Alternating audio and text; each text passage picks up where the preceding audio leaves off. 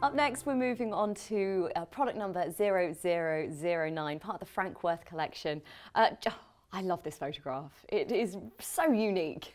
It's, it's, it's the shadows, isn't it? Yeah. It, it, looks it looks like two mobsters meeting somewhere to do a deal. it does look quite sinister. Yeah, Alan Ladd and Humphrey Bogart. Uh, to Have and Have Not was the film in which he met uh, Lauren Bacall.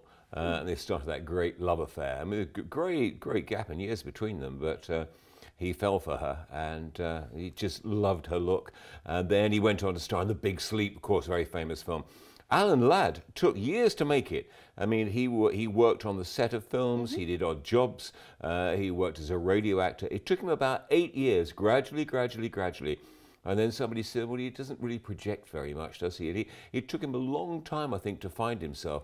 When he did, he became a, a really big star. I think in um, 1950, he was the, voted the second biggest star in America after Gregory Peck. But it took him a long time to get there. It was a very gradual process. But this is, the, the, there's a lot of atmosphere on here. Some of the others have just snapped, but this is, he's got the lighting right. Whether he worked on the lighting, uh, Frank Worth, on this or not, or whether he just got lucky where he said, you two guys just look at each other. I don't know. I'd like to think the, the latter there. I just think it, it, they look, it's candid although there's the atmosphere there, it really is unique. I don't think this was set up. It just doesn't look like it could be. I know, but again, you see, it's the trust in, in a photographer. Yes. Most people, especially big stars, mm. if someone approaches them with a camera, they immediately do that and make sure they look all right or say, no, no, hold on. I mean, but they obviously trusted this guy because everyone's let him very, very close to them and, and he's got very candid shots. exactly, and as you can see behind, it's not just this photograph. We've got mm. the Frank Worth collection. If you head to our website, internationalimages.tv, you can see the full range of the Frank Worth collection. They are very rare, they are very unique. You will not see these photographs anywhere else.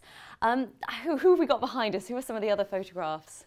Oh, we've got uh, oh. we've got Grace Kelly in the middle, beautiful Grace stunning. Kelly with uh, with Hitchcock. Um, we've got some, yeah, I mean, as say, uh, Cary Grant, Kim Novak. We've got the uh, the Marx brothers here uh, in their in their later years. They obviously had a couple in that picture, and of course uh, Kirk Douglas and Dan Dailey up there, uh, whether playing or pretending to play. But a great a great set of photographs. They really and are. you can find all of these photographs, really candid, really special pictures, unique pictures on our website, internationalimages.tv. And if you want to find a little bit of information, perhaps the story behind uh, some of these photographs as well, if you when, as and when you order these photographs, it comes with a wonderful brochure as well, the Hollywood images. It is full of your Hollywood icons, favourite ones, telling you the story. Honestly, it is not to be missed just to build up that wonderful collection that you might have at home or to even start that collection.